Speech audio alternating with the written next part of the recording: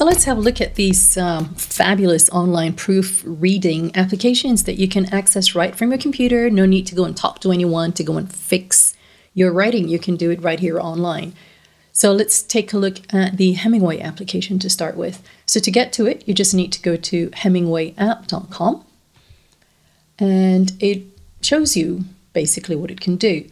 So it highlights things that are complex with respect to the well, the complexity of the actual sentence and how long it is and things of that nature. So what I'm going to do is I'm going to click on the right button and I'm just going to highlight all of this and replace it with some text that I put together earlier. This is from one of my old blog posts, but what I've done is I actually introduced a few intentional errors. So let's see if the application is going to be able to catch it. I'm just going to stick some spaces here so that it's a little bit easier to read. So let's go to edit and ew. So um, I'm not sure what happened up here, but basically it's telling me that my readability level is a grade 9. I actually prefer to get it at a grade 7 or 8 at most. This is a little bit too complex. And as I can see that I have two out of the 11 sentences that are hard to read and three that are um, very hard to read. And these are highlighted in those colors. So let's see if I can try and simplify these sentences. Let me do one of the um, these ones here. So find the latest guy you're reading even this post and spend the next five minutes, blah, blah, blah, blah, blah. So this is obviously a very long sentence. So let's say that I make this um, find you're reading, full stop. It could even be this post, full stop. spend the next five minutes deciding. Let me remove the parens and writing down what you will do about it. Full stop. And then I will say also decide how you will use it and by when you'll have it done. And so by breaking up that long paragraph into simpler sentences, I was able to reduce the complexity. So the Hemingway app basically highlights how difficult your language is and shows you how to simplify it somewhat. Well, it doesn't show you how to do that, but it highlights what you need to simplify. And the things that you really want to pay attention to is to go with short sentences, avoid jargon, avoid passive voice, and those kinds of things. And as you can see, I've gone from a grade 9 down to a grade 7. Yay! I could probably simplify it even further if I then try to deconstruct these two sentences.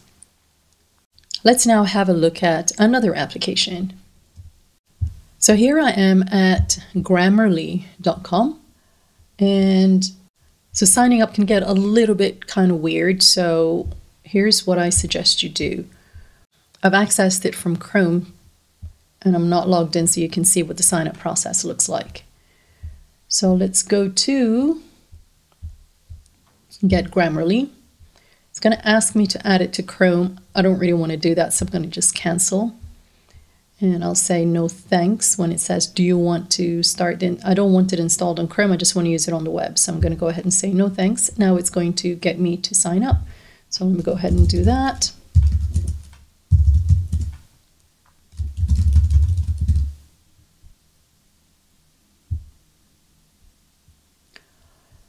It's already trying to sell me the premium. You don't need the premium just yet so you can just go ahead and continue to the account.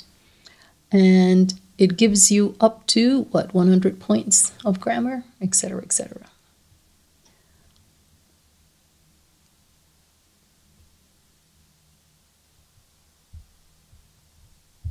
I'm going to go ahead and skip the tour. Right. Let me just dismiss this. I don't want to put in the extension. So let's just go ahead and do a new document. So I'm just going to click on the new. It's going to give me an empty document. And I'm going to go ahead and paste my carefully messed up piece of text. Again, I'm breaking it up just so you can see it a little bit easier. So as you can see, I this was supposed to read for example, say you have a guide on how to write killer headlines. I purposely changed that to has, and as you can see, it's caught that. It's telling me, nope, you want to change it to the correct verb form. It's also picked up this translate spelling mistake. It's picked up this um, answering questions solidifies, and it's told me it's actually should say solidify because it's two things answering questions. So, teaching a skill, reinforce it for yourself, and answering questions solidifies it even more. Actually, I think in this case I'm correct and they're wrong, but you get the point. Um, it is telling me that this should be it is, or actually, no, it should be just it. It appears that you're missing a comma, etc., etc. So let me just get rid of that should be there you go that's taken care of and here it's even noticed that I'm missing a space how insane is that so let me go ahead and put that space in this one is a spelling mistake so I'll click on it and fixes it and here I've taken out the word to so and it caught it's caught that it's so easy turn to turn that around so I'll click on that and it'll fix that and same thing here, has, have.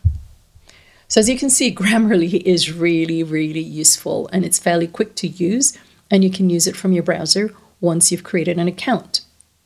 So between the two applications, Hemingway app and Grammarly, you've got two excellent tools that can help make sure that your writing is spot on.